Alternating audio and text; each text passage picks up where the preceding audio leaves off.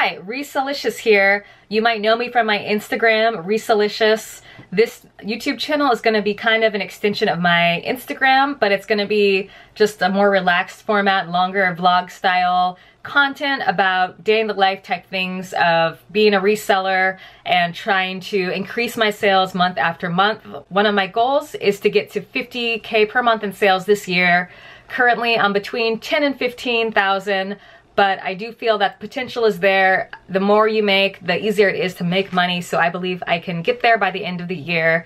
And I'm just gonna kind of document that and uh, maybe do something on a weekly basis to make sure I have enough content and it's good quality to watch. So welcome, thank you for watching. Let me know of any suggestions that you have and Hope you enjoy the video. It's gonna start out with me looking for something I misplaced that I need to sell on eBay.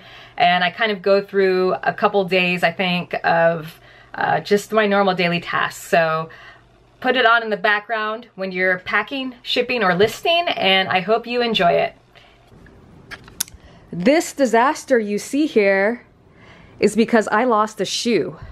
So I've taken everything out of these shelves, everything all these bins I've been through multiple times, but I'm gonna go through them again because I can't find the other half to this shoe that I sold. And this shoe is due to be shipped today. It's 8 o'clock p.m., so I have an hour to either get it to FedEx or uh, get a label printed, and then I'll just upgrade to priority. So I'm gonna look for the shoe now. Ow. I'm not that flexible. Not in there.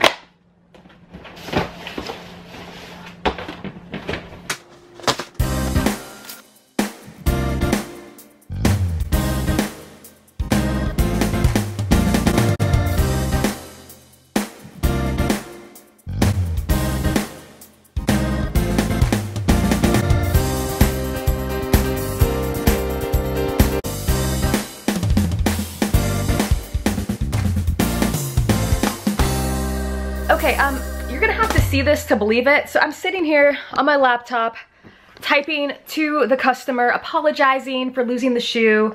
And, I, okay, this was a long shot, but there was a point in time where I had all my shoes up on the sofa when I was looking for something. So here's what happened just now.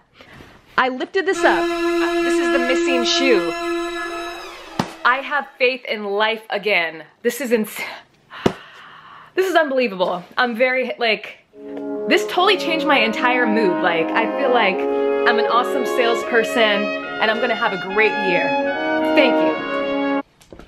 Oh, and on top of that, I just sold another shoe. So I'm gonna pack three pairs up right now, put them in boxes for tomorrow.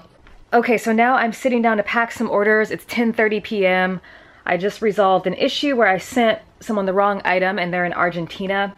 So I refunded most of the item and let him keep it. Um, so now, yeah, I'm just gonna work on shipping some of the shoes that I got yesterday. I'll just show my shipping process and myself shipping the shoes. Okay, so the first item I have to get shipped and printed, I have really big clear plastic poly bag. It protects it from water.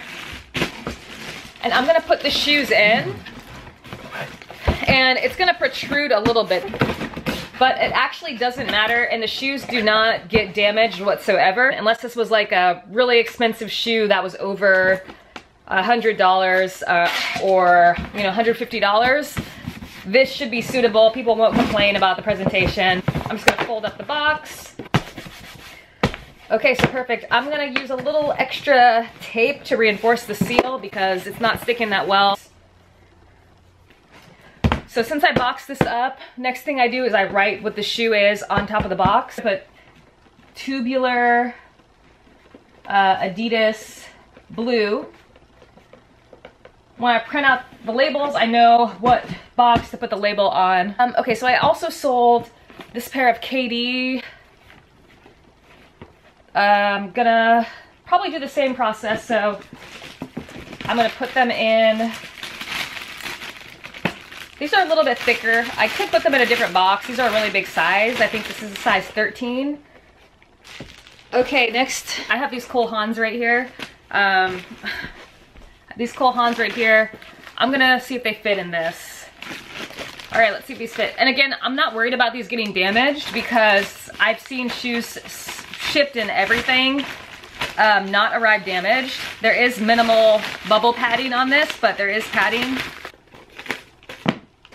So now we have Cole Haan.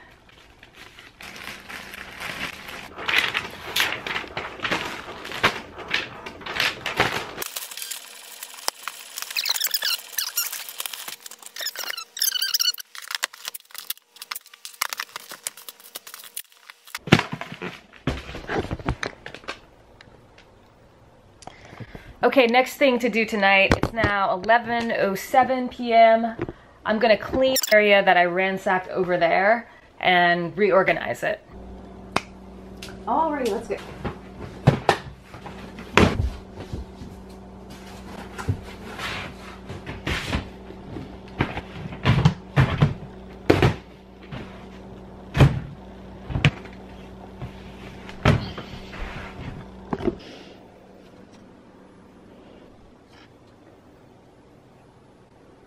Okay, it looks better already, but there's more to be done.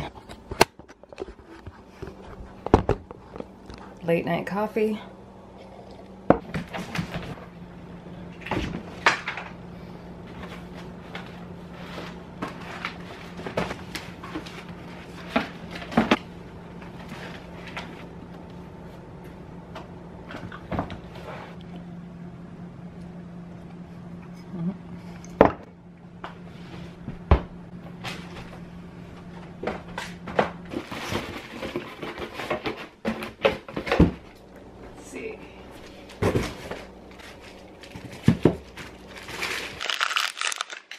Two more that need to be added, but one can wait until tomorrow to pack if I need to.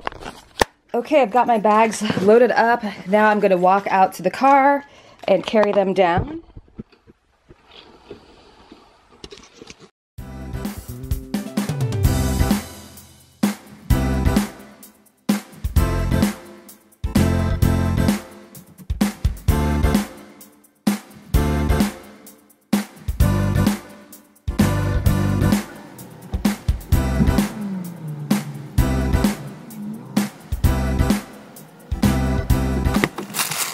Currently I'm heading to Chipotle to meet somebody to sell them a pair of these green hypervenom Phinish on Let Go. Exchange complete. $45 in fives. Didn't sell for that much, but it's very slow online and I probably would have had the same after shipping fees, selling it for like 60 bucks, so it's all good. Now I'm headed to Source Okay, so I just arrived at my local Burlington coat factory. I'm gonna go take a look around. It's about 10 o'clock at night. I have about half an hour and I just wanna see what they have. All right, so I just went to Burlington Coat Factory. I found these Flip the Switch Kyries in a youth size for $39.99. And you can see the recent sold listings, they've gone for 139 and 179 have been recent prices on the solds. So that was a pretty good find. I couldn't really pass that up. But anyway, I'm running inside Ross right here to see what I can find. And uh, maybe I'll find something, maybe I won't, but I wanna list those shoes when I get home along with a couple others. Uh, so yeah, I'm excited. I am at a Marshall's and there is a Ross right there. And there's a Burlington about a mile down the street. So I'm gonna go in both and see what I find. Okay, so I'm back from Burlington. I didn't find anything inside of that store, but I'm gonna show you what I found in Ross which was these um, Air Diamond turf trainers. So you can see some pretty good recent prices, 125, 165, 169. Of course, some people sold for 94, maybe been a bad size, 115, 129, 130. Okay, um, I think this is gonna be it. I'm gonna call it for this video, my first vlog about reseller life. Please leave a comment about anything you wanna see in future videos. Um, I'm kind of trying to do this style of video, but I'm okay with like mixing it up with maybe informational sit down videos, stuff like that. But I, I really like the vlog style format because I feel like just showing like the daily life is kind of relatable and just easy to watch, put in the background. Um, and it's easier, it's like you don't have to plan it out so much. So let me know what you would like to see more of um, and less of, and I'll see you in the next video. Thank you. I appreciate you watching. Resellicious out.